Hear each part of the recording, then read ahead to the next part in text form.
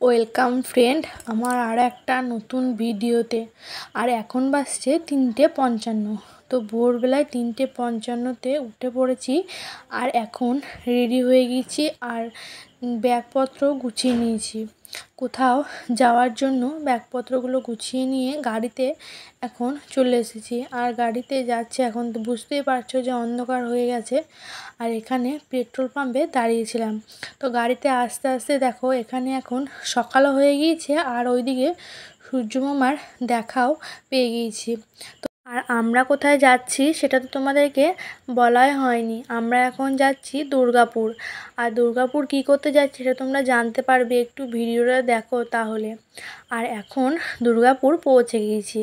সেই সকালে ভোর চারটের সময় বেরিয়েছিলাম, আর এখন বাজছে সাড়ে সাতটা তো এখন সাড়ে সাতটার সময় দুর্গাপুরে পৌঁছে গেছি। আর এটা হচ্ছে দাদু আর কাকা, আমি, মা তিনজনে এখন এসেছি এখানে, তিন চারজনে।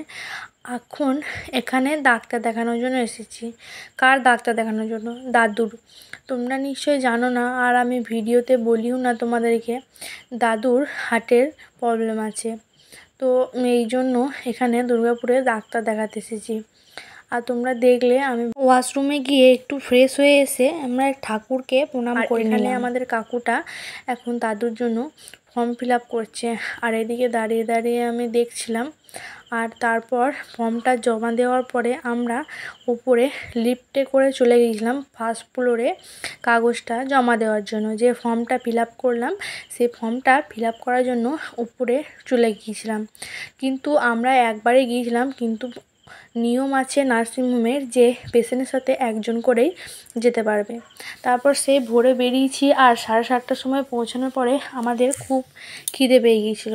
খাওয়া দাওয়া করে নিয়ে একদম আবার হসপিটালের ভেতরে নার্সিংহোমের ভিতরে, সরি নার্সিংহোমের ভিতরে চলে গিয়েছিলাম। আর এখানে আমরা ইডলি ধোসা খেয়ে নিচ্ছি।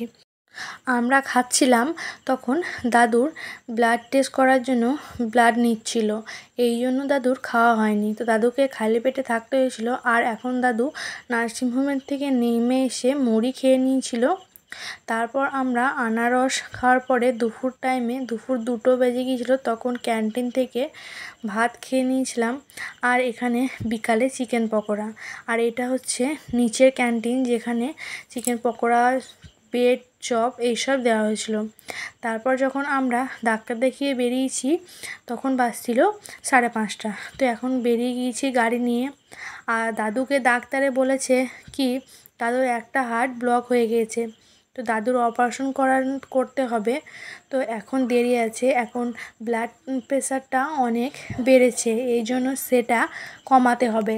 ব্লাড প্রেশার কমানোর জন্য চার সপ্তাহের ওষুধ দিয়েছে, তো সেটা খাওয়ার পর আবার যেতে হবে দুর্গাপুর। আর এখানে দেখতে পাচ্ছ, এখানে এত লাইটিং আছে, এখানে হচ্ছে গণেশ পুজো হচ্ছে দুর্গাপুরে। আর গণেশ পুজোর জন্য প্যান্ডেলটা কত সুন্দর করেছে, আমার তো খুব ভালো লাগছিল। আর এখন দাদুর যেটা বয়স, সেই অনুযায়ী দাদুর যে হৃৎপিণ্ড দিয়ে পাম্পটা করে, সেই পাম্পটা ষাট পার্সেন্ট হওয়া উচিত ছিল। কিন্তু দাদুর সেটা এখন নেই, তাই আরও অসুবিধা। আর আমরা গল্প করতে করতে পৌঁছে গেছি বাড়ি, আর আজকে ছিল ষষ্ঠী। বাড়ি এসে মা আমাদেরকে হলুদের ফোঁটা দিয়ে দিয়েছে। চলো বাই আবার পরের ভিডিও দেখা হচ্ছে। ভালো লাগলে লাইক কমেন্ট করে দিও। টাটা।